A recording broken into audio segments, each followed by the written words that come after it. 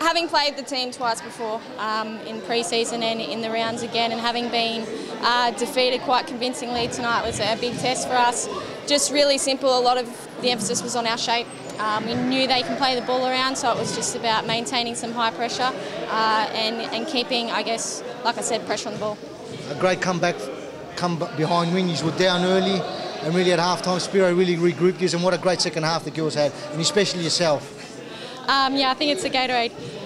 Um, yeah, having some time out and being able to refocus uh, on what our goals were for that particular half and that, that time in the match. Um, to keep our heads up and come back from 3-1, um, I think it's a credit to the girls uh, and not to panic and just not keep our heads down, just to keep playing to our game plan and in the end it worked out.